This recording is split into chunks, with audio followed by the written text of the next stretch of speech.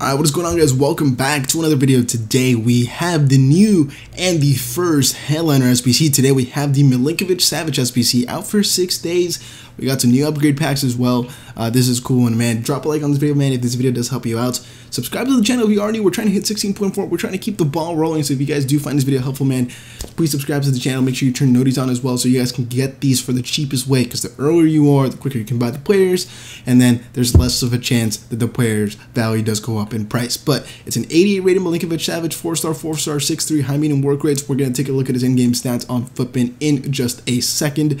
Uh, but I think this SBC at this moment in time is coming in at around 170,000 coins, 175,000 coins, uh, which which is actually pretty nice value. I'm not gonna lie, it is not bad at all, and it's an 82 and an 85 rated squad. Only expensive part kind of comes in with the team of the weeks, uh, but with the upgrade packs, it, it kind of helps you out. You know, it's not that bad. So we have a Lazio team and then a Serie A team. So we're gonna go for the left hand side first. How I said, if this video does help you out, please drop a like and subscribe as well if you are new, um, so I can know that you guys do find these videos very, very helpful. We're going to start off with Bernardoni as our goalkeeper in form. We're going to go for uh, Anthony Lopes. We're going to go for Maignan there at left center back. We're going to go for Romagnoli there as well, which gets the links to Lazzari and Barella. Then we're going to go for Danilo Pereira on the left-hand side.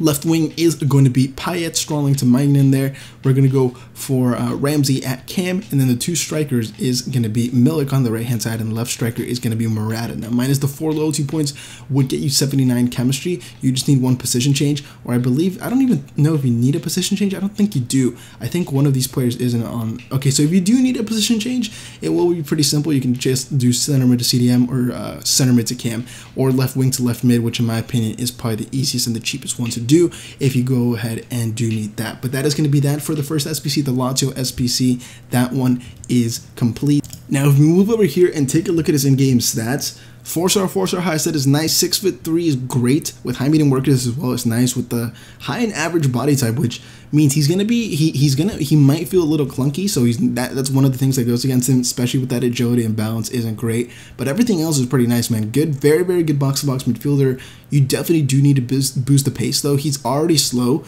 so boosting the pace isn't even gonna be crazy, so you can even not boost the pace, uh, but I still would just in case. So uh, what I would go for, um, I probably would go for a shadow. Honestly, a shadow feels like it, it could be the best for like a defensive type midfielder, maybe like a, a DM.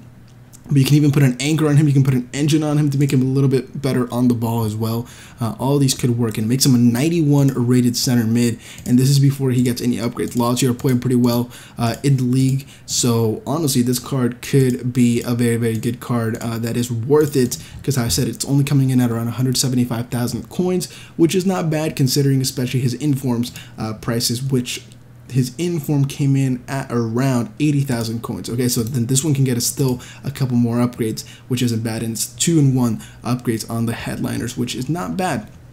So is this worth it? I would say yes, for the most part, yes, it is worth it. Okay, so then we're going to move on to the second squad, the Serie A squad with an 85 rated team and one team of the week player. We're going to go for a full Serie A team just because it makes it easier and cheaper throughout the whole squad. Okay, we're going to go for Handanovic, we're going to go for Godin, Skriniar, and Izzo to start off the team. Now, one thing I want to say is you can go for Inform Izzo, but you can also go for Inform Caceres, you can go for Inform Calhanoglu, this Izzo, I'm seeing him on a lot of flipping solutions. He might go up in price just because people are trying to make money off of him.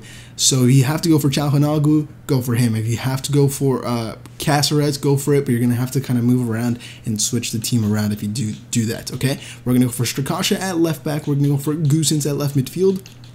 In the midfield, we're going to go for Luis Alberto with uh, the link to Eriksen there as well at the right center mid. We're going to go for the CDM in Milinkovic Savic. We're going to go for Sirigu at right midfield. And then the striker is going to be Ilicic. Gets us the chem rating, no position modifiers, no loyalty needed for this squad. And both squads have been complete. Uh, and that is going to be that. Six days left to do this SBC. I don't think it's bad value. I think you can definitely craft it. I think it's a good one. It's a good tradable to have. It's just not necessarily a guy that you're going to put into your starting team unless he gets a pace boost all the way up above like almost 80, which then I, think 77 and above is kind of where you start seeing these players kind of be usable and then by then all his stats will just be crazy crazy good. So he might go up to 89 he might go up to 90 something like that. Uh, so this card could end up being quite useful. But that is going to be it for today guys. I hope you guys did enjoy. Drop a like comment and subscribe to my channel if you haven't already. I'll see you guys next video. Have a nice day. And i'm out